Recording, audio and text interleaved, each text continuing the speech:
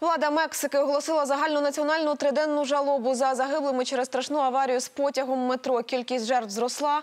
За останніми даними, їх 24, поранених 79. Частина досі у шпиталях. Влада пообіцяла провести повне і прозоре розслідування причин трагедії. Тим часом рятувальникам вдалося прибрати з місця аварії два понівечені вагони.